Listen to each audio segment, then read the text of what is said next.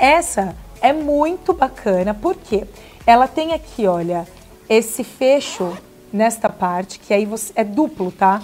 Você fecha aqui, olha, os colchetes e depois ainda vem o zíper. Então te deixa assim, ó, com aquela cinturinha.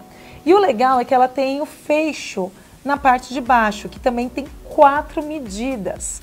Então, dependendo do tamanho do seu corpo, do seu tronco, você fecha ou neste primeiro, nos do meio ou este mais apertado.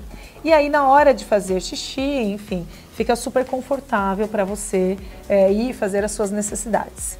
Ela, gente, tem todas essas barbatanas, tá vendo? Que deixam a mulher assim até com a postura mais ereta. Esse tipo de cinta é vendido com maior objetivo no pós-parto, mas se você é uma mulher que tem ali uma barriguinha saliente e que não te agrada, mulher, use esse tipo de cinta.